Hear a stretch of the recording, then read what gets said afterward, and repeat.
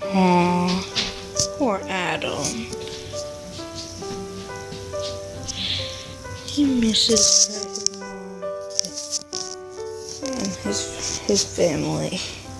They died in a war.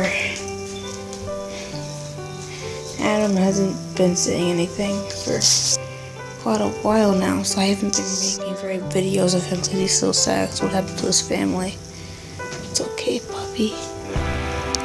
Yay! I feel so bad for him. Um, he hasn't eaten in a while, and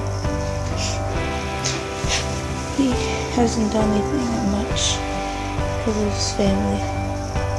Really, everyone who wanted to protect it and make him feel good. And I really,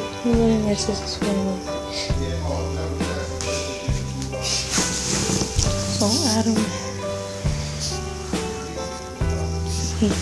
So got very sick and he's not feeling so good.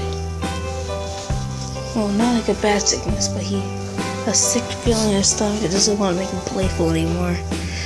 So, you people out there, Please pray for Anne's family, who died in the Vietnam War.